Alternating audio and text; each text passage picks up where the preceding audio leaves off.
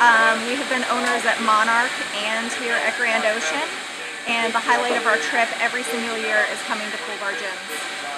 And this time I am staying with my family down at Monarch and we saw on Facebook that uh, Pool Bar Jim was suspended from Grande Ocean through the 4th of July and we're obviously very upset to hear that um, but decided we would, we called on the 5th to find out if they were open and they told us that they were open and we got up here and they told us that Jim was still suspended. All of his things were gone, all of his, there's no t-shirts, no cups, no recipe books. Um, the people in the bar had no idea how to make any of his drinks.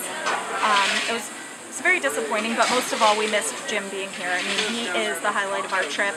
The kids love the drinks. We obviously love the drinks, but it's fun to catch up with Jim. When we were here on the 5th, the receipt still said Pool Bar Jim's, and I did notice today on a receipt that it does not say Pool Bar Jim anymore, it only says Pool Bar.